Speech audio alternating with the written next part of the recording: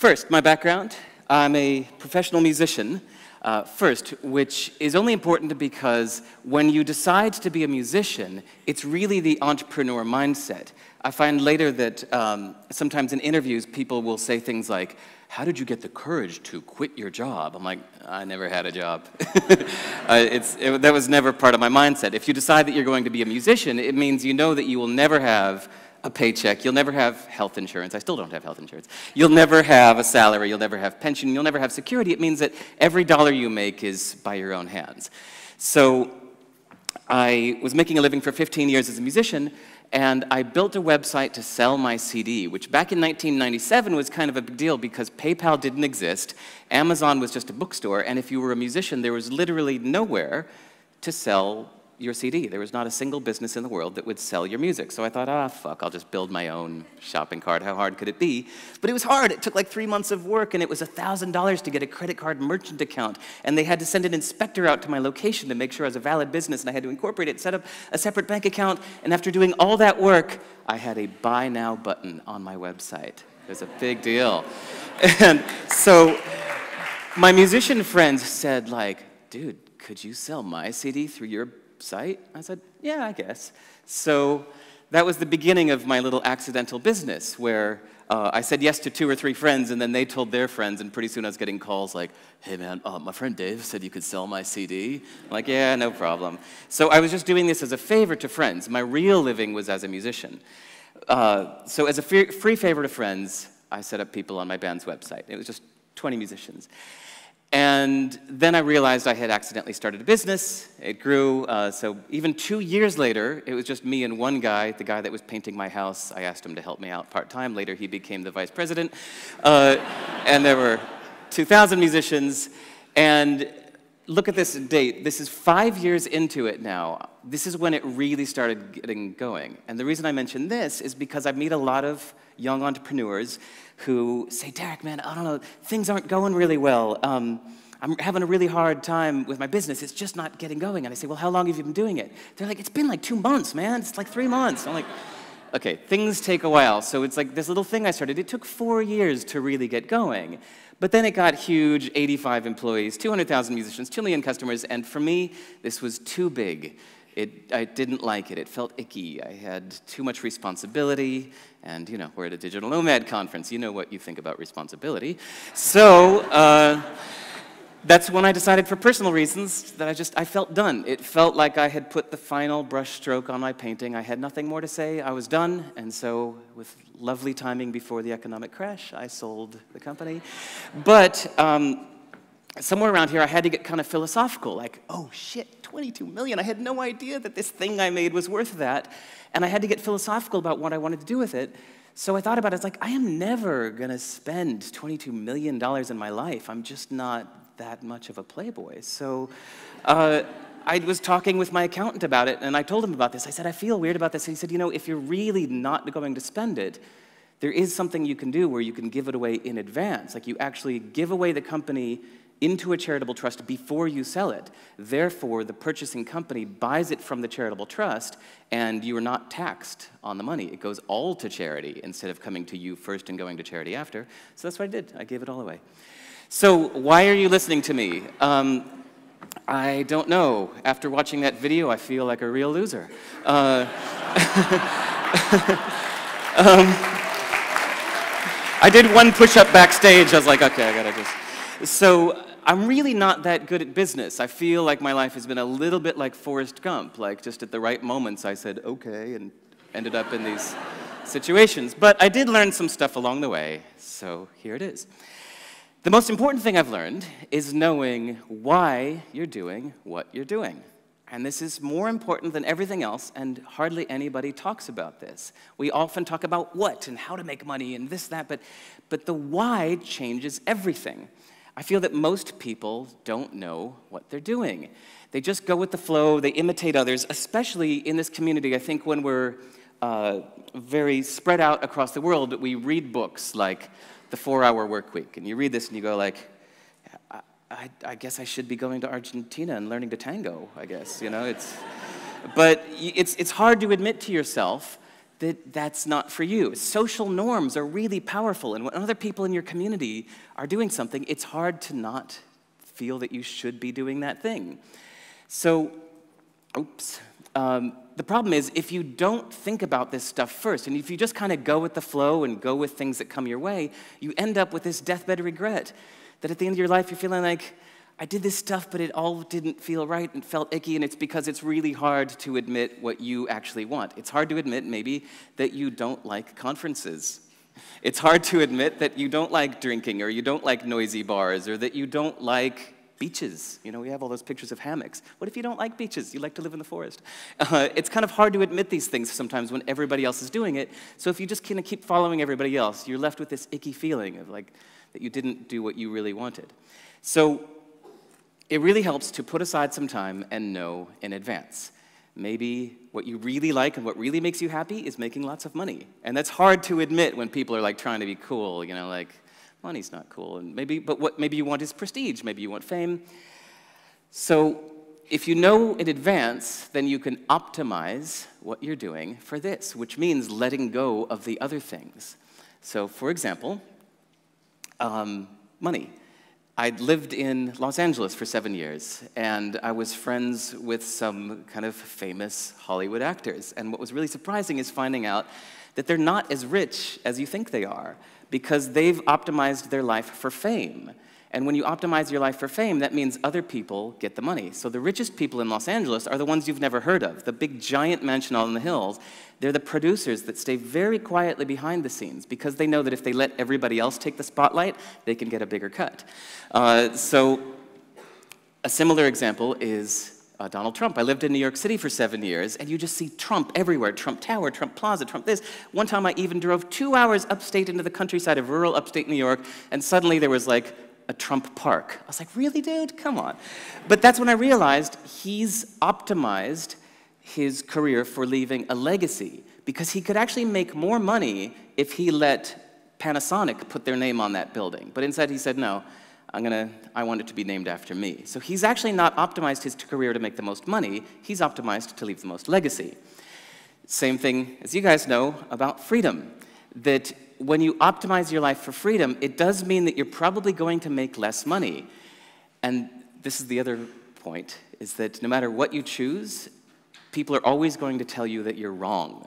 There's always going to be somebody saying like, you know, you could be making a lot more money if you just something, something, and you did this stuff, but you listen to what they're saying and you say, well, you're right, I would make more money that way, but then I'd have more responsibility and I'd have to stay in one place. If you like the nomadic lifestyle, then you just decide, I'm okay with that, I'll make less money, get more freedom. If you're optimizing, there are going to be side effects. Like you can optimize your life for making money, and you could get kind of famous in the meantime. Or you could optimize your life for freedom, and you might also leave a legacy. But it really helps to know that when it comes down to it, what is your most important value? Because these choices are going to come up many times where you have to decide, like, what is the thing that has actually made you the happiest in the past, and what are you going to optimize for? So, okay, changing points. that usually, uh, uh, my slides, it looks like they got a little uh, defontized or something. Usually this is yellow to let me know I'm changing the subject, so I'm changing the subject. Nobody knows the future. Uh, your business plan is moot. What this means is that I've met a lot of people who come to me with ideas and they say, I've got this idea for a business. What do you think? And I always feel like it doesn't matter what I think because as soon as you put this out into the real world, it's going to change. So, my little example of this is that when I first started my little company, all it was meant to be was a credit card processing company because I had you know, done this $1,000 of uh, credit card merchant fees and setup, and I'd done the work. So at first I thought I was just going to process credit cards for my friends. That's all they asked me to do because there was no PayPal at the time. So I was like, I will, I will charge credit cards for you and ship out the CDs to people who buy them. But then, just like two weeks after I started this, a guy from the Netherlands bought uh, somebody's CD from me, and then he came back uh, a week later and he emailed me and he said, Oh, I like that CD. Where are your new arrivals? I said, What do you mean, new arrivals? Like, who, which one of my friends am I now processing credit cards for? And he said, Oh, I, I thought you were a store. I was like, A store? whoa, that's a good idea. I could be a store. Yeah. And so like two weeks into my business, everything changed. It's like, I'm a store. And for the next like six years, I was a great online record store. Just, you know, big warehouse and people would ship their CDs and would ship them out. It was a store. And then in 2004, do you remember when the iTunes Music Store first launched? It's like they had music, and it was a big deal. And they launched, and about a week later, I got an email from Apple saying, um, We'd like you to come into our offices for a private meeting. And I went to one infinite loop in Cupertino and went into a little room about like a third of this size, and there was Steve Jobs in full presentation mode. I was like, whoa, rock star. So uh, he was in full presentation mode saying, we want to get every piece of music ever recorded up and selling on the iTunes Music Store. So, you know, we need, we need everybody's catalog up and selling in our store. And so I told you, I'm, I'm like Forrest Gump. All I had to do was go, okay. and now I'm a distributor. I'm like, all right, I'm a digital distributor. And so, you know, the business plan completely changed. Point is, everybody here has a business idea. Whatever you think it's going to be, you just have to put yourself out into the world and see, because the world will change your plans completely. And once you realize this, it's really nice to just admit that nobody knows. Nobody knows the future. All those people that like the attention on TV for pretending they know the future, they don't know the future. Even the whatever chief financial officer of countries, they don't even know the future. So you don't know the future either. But once you admit that, it's really nice because then people will ask you like, "Hey, tell me about this business you're planning on doing. What is it?" You go, well, "I don't know." Um, I think it also puts you into a more humble mindset because when you stop thinking of yourself as such a know it all, you learn to just ask more questions and you listen more instead of just always preaching. This would be yellow. I would be changing the subject now. Okay, revolution. Um, so when I first started my uh, company, it was very, very simple. Uh, the music business is very complicated, but I just felt that when I realized, you know, when the guy from Netherlands thought I was a store and I decided to be a store, I didn't know how to be a store. I didn't know what to charge. So I went down to my local record store. I was living in Woodstock, New York at the time. And there was a tiny little record store about the size of this stage. And they had a counter with a few local bands that sold their music on the counter, uh, local consignment sales. So I asked them, I said, how does it work here if I want to sell my music through you?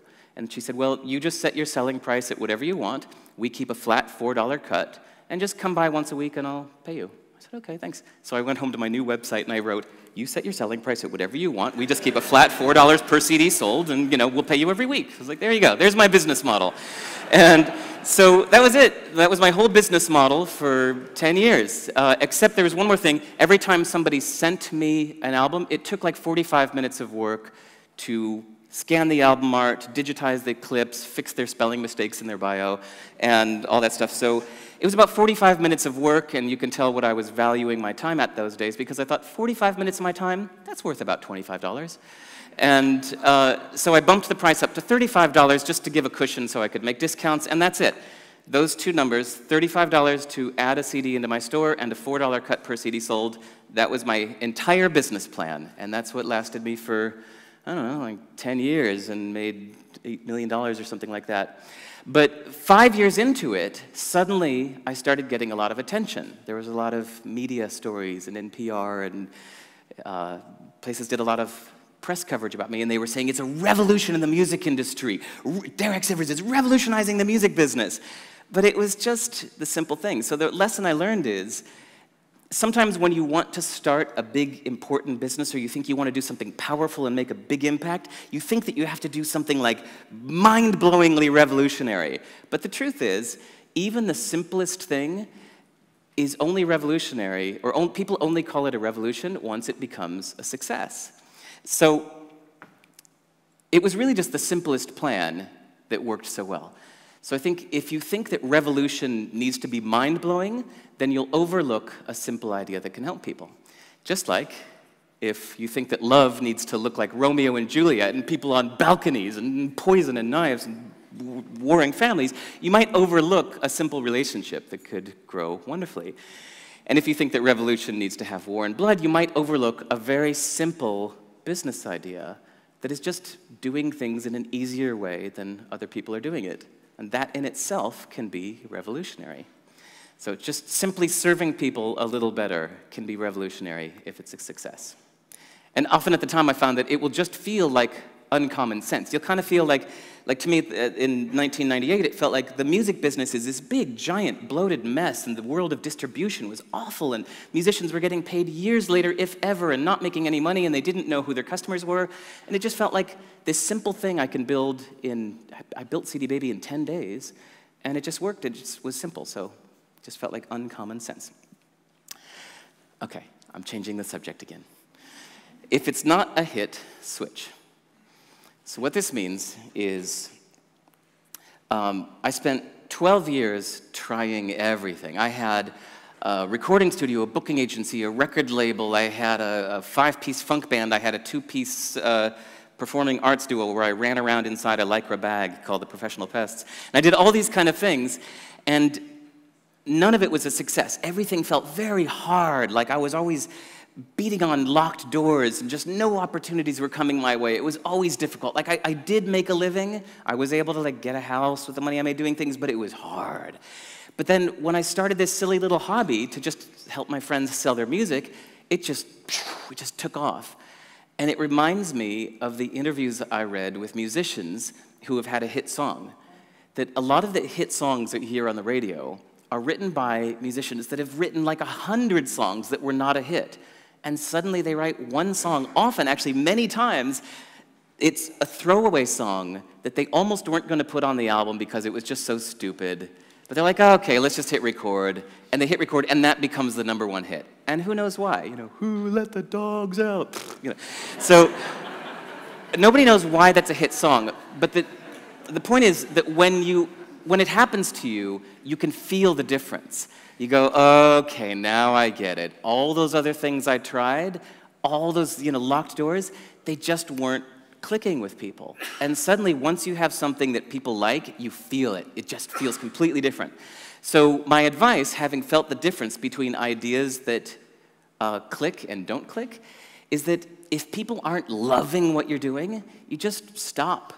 Don't try to uh, beat them down with an idea that just isn't resonating people. Don't persist, don't push it. But this goes against the advice that you often hear that persistence means success, right? So the point is that when you've got something great, you'll know because people will be really freaking out. Like if you have a business idea and you tell your friends and they say, Yeah, cool, that sounds really cool, man, let me know when you do that. That's not good enough. That was kind of a nice way of them saying no. Because you'll know when, when you have an idea that people love, they'll say, Holy shit, are you serious? Can I pay you right now? I want to be your first customer. Can I beta test? I need this now. And when people say this and they like are actually giving you money, then you'll know you're onto something. Anything less than that, I think just let it go, do something else. I, I said write a different song because in the music business for 10 years, I met a lot of songwriters that like they wrote one song about their wife or something and they just go around the music business for 10 years trying to get somebody to record this song. And it's like whereas the successful songwriters, they just keep writing. They write 100 songs and then one of them becomes a hit. So if you have a business idea and people aren't freaking out over it and trying to give you money, just let it go. Come up with another one. Write another song. so you have to redefine persistence that persistence is not just doing the same fucking thing over and over again and hoping it works. Success comes from persistently kind of changing and trying different approaches. It's the same goal, but different approaches. Not persistently pushing what's not working. So, changing the subject again, version 0.1. You guys know software version numbers, right? Like version 1.0. Um, there is there was a guy I met at a music conference that I was just talking with people, and I said, So, what do you do? And he said, I'm making the ultimate music recommendation engine. It is going to be the biggest thing. It's going to tie together with all your social profiles. It's going to do every song that you like and every song that your friends like. It's going to build the ultimate something on your music recommendation service. And I said, Okay, um, so how's it going? He said, Oh, well, I haven't you know, it, it, doesn't exist yet. I'm trying to find financing. For the last two years, I've been trying to raise money because I figured this thing is going to take $2 million to make. So do you know any investors? I was like, okay, dude, how about this? What kind of music would I like? And he said, what? I said, what kind of music would I like? You said you're building a music recommendation service, so what kind of music would I like?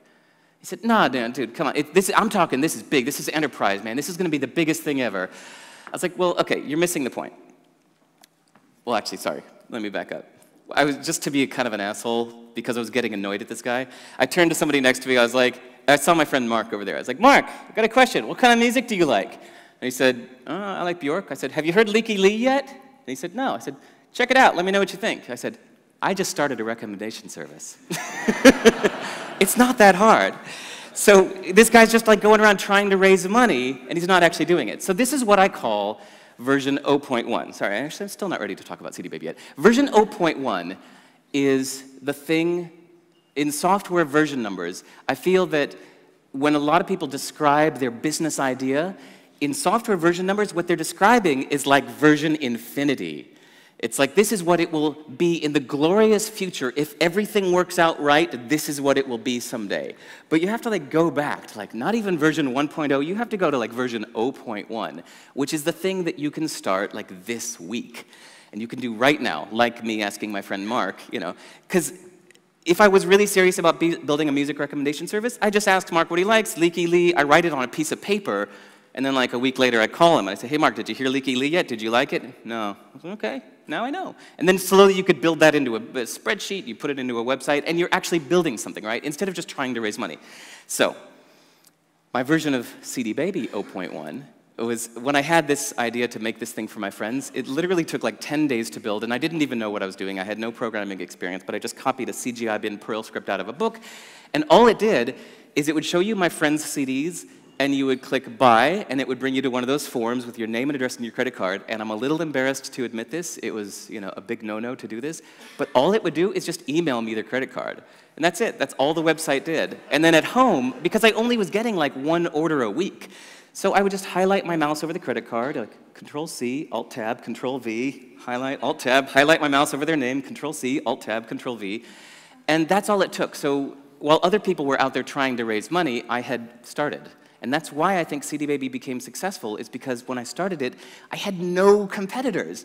And it's like if you were a musician that wanted to sell your music online, there was a guy named Derek in New York that would do it for you, and that's it. There were no competitors. There was nowhere else in the world to sell your music online. A year later, there were, because all those people that had spent too long developing their thing launched too late. I had already been doing it for a year. So, oh, wait. Oh, and yeah, it only, because of this, it only took six weeks to be profitable. So if you're not, there's a great quote, I think, from Reid Hoffman, I think, who started LinkedIn, that he said, if, if you're not embarrassed by your first launch, you've launched too late. So launch before it's ready. Okay, ideas versus execution. I'm changing the subject again. Um, I once, unfortunately, got introduced to a guy. You know those awkward situations where you have a mutual friend that wants to introduce you to somebody, and they do it by CC on the email, and so now you have to say yes, even if you don't really want to meet the guy. I'm like, oh, fuck, because now I'm socially obligated to my friend. So I said, okay. He said, I've got this friend that has this billion dollar idea. You got to meet him. He, I, I, think you really need to hear this. I'm like, fuck, okay. So the guy contacts me, and, he, and we get on the phone, and he said, okay, I've got this amazing idea but I need you to sign this NDA first because this is a billion dollar idea. And I usually never sign NDAs, but now I'm obligated. I'm like, fuck, okay. I fax it to him. There, there's your NDA. What's this fucking billion dollar idea? And he said, okay, are you ready? Okay. Online dating with music. And I said, yeah? Dude, online dating with music. I said, okay, is there any more to this idea?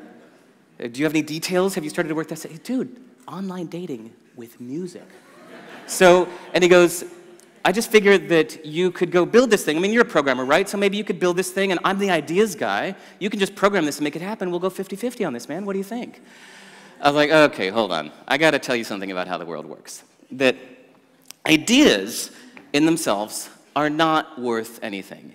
Ideas are just a multiplier of execution. So if you look at this, a, a, bad idea, let's just give it a number, right? Bad idea is negative one, weak idea one, average idea, let's give it a five, good idea, great idea, let's say an amazing idea is worth 20.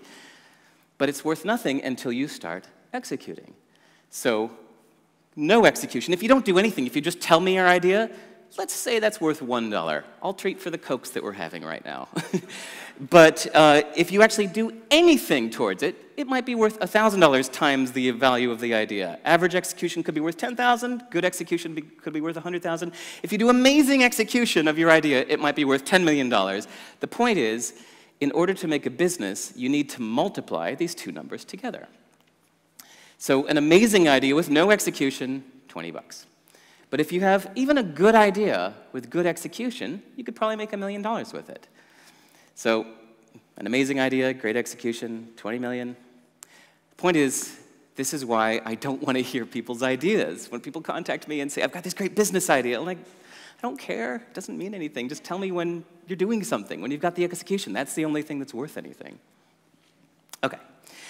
So lastly, I'm going to get specific and tell you some of the most successful things we did at CD Baby that I think you could use versions of in your own project, whatever it is. Look at my funny font thing. Okay, so um, believe it or not, whenever I would be at conferences like this, uh, I used to go to, for 10 years, I would go to lots of music conferences, and I'd meet lots of musicians that were clients that I had never met. And very often, I would get to hear this magic thing, which only happens in person, where I get to hear one of my musician clients tell another musician who's not on CD Baby why they love it. And they'd say, dude, you're not on CD Baby? It's amazing. And the number one thing, the most popular reason that one musician would tell another musician that he had to be on CD Baby, they would say, dude, they answer the phone. You can call them. I, I was blown away that all the other stuff I did apparently didn't mean as much as the fact that I answer the phone when they call. So that was it. That was the most popular thing we ever did. Um, people love the fact that they could reach us, whereas the competitors that came later, like even Amazon started up doing something that was directly competing against me, and I survived because we answer the phone. So the other thing that people loved is that I added two silly lines when I was in a goofy mood one day. In the, uh, the little script that does the outgoing emails, I said, well, at the moment that I'm putting together the email headers, I know the person's name, so why don't I put the person's name into the from address? That'll just surprise them. See, I made it so that the from would include the name of the person I was emailing. So it said, my name is CD Baby Lucera. And people would like reply to this all the time going, you guys are freaky, this is weird, I just forwarded this to all my friends, you guys are nuts, I love you. And it would just make it something different with character, right? Next thing is that I told you that whenever a musician would send in their album, it would take like 45 minutes of work to get a new album set up in the store. And every now and then, a moody musician would change their mind on something a few weeks later. And they'd say, you know what, now that I'm looking at it, I think I want to use some different songs, or can I send you a different album art cover? And I'd say, okay, no problem, just, just send us a pizza. And they'd say, huh? And I'd say, well, look, if we're going to do this all over again, it's going to be like 45 minutes. We're going to feel kind of icky about that. But if you get us a pizza, we'll feel pretty good about that. And they said, haha, no, seriously. I was like, no, seriously, get us a pizza. Uh, and so I'd give them the number to the local pizzeria, and I'd say, look, they already know where we are. Um, just call and give them your credit card. They know what our favorite pizza is. Just call them and say, you want to get a pizza for CD Baby. And they'd laugh and say, like, okay. And you know, this was just a goofy thing that I just decided was policy one day, but that became one of the most popular things that I would hear friends tell other friends at conferences about why they love CD Baby and why you should be on it. Um, Another one is at the end of the order, I would ask the customers, hey, where did you hear of this musician? And they would tell us, they'd say, oh, I heard you on KEXP radio, and then I searched for your name and I found you. Musicians loved getting this information, but like Amazon would never give that to them. And this meant more than all of my website design or JavaScript optimization or anything. Nobody cares about that, but they cared that they could get the customer comments at the end of the order. And lastly, um, I put in one last box asking customers, do you have any special requests? And I'd say, yes, anything. So one day, a customer said, I'm in the mood for some cinnamon gum. If you wouldn't mind, please include some. And one of the guys in my warehouse was just going out to the store at the moment anyway, and he's just like, yeah. And he put aside the order, he goes out to the store, he gets some cinnamon gum, bloop, and he put it in the box with the order. And the customer get, got it, and they were like, oh my God, you guys are fucking awesome. And he tells all of his friends about us, and he puts it on his blog, and he comes back all the time and tells all of his friends, dude, you need to go to this cdbaby.com to get your music. These guys are the best. And there was one time when a guy bought a CD that had like a, a picture, like the album art was a head with a squid on it. And so when he got to that part of the order, he said, actually, I think I would like a rubber squid. Uh, but if you don't have a rubber squid, a plastic squid would do. Thank you. And believe it or not, like a few months earlier, some guy from Korea had mailed us his CDs, and he included like a sh freeze-dried, shrink-wrapped squid in his order. Uh, I mean, with his CDs as a present to CD Baby. And we had always, the guys in the warehouse had always kept it tacked up on the wall. So we received this order saying, you know, I'd like a squid. And the guys in the warehouse said, dude. they got the squid and they're like, bloop, they put it in the box. And the guy got this in the mail and he's like, holy shit. And he not only wrote a blog post about it, he went on to YouTube and made a whole video of it that has had, I don't know how many thousands of views. So if, if you want to see it, if you go to my website, sivers.org slash squid, it will redirect you to the YouTube video. And um, I just think it's awesome because so many times I hear from people that are starting up a business and they say, How can I get traction, man? I really need to get word of mouth. I need to get people talking about this thing. And you know, they think they need to do all this crazy SEO, but sometimes it's as simple as, you know, bloop, these little things you do. So the lesson learned is that people remember you more for these tiny little ways that you make them smile, more than all of this other tech biz marketing stuff you do. So don't forget, it's the little things. Be unusual, be remarkable. Everyone tells their friends when you do these quirky little things. And at the time, it's shockingly unique, but it just feels like common sense. It doesn't need to feel like revolution. It's just what makes sense. That's it. Thanks. Email me anytime.